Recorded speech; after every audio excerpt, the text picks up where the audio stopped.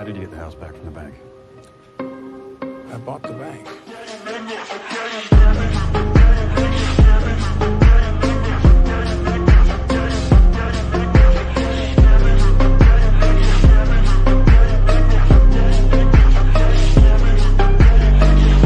Hey, Mr. Wayne.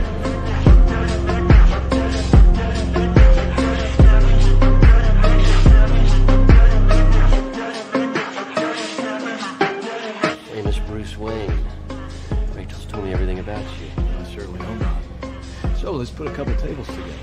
I'm not sure that they'll let us. Oh, they should. I own the place.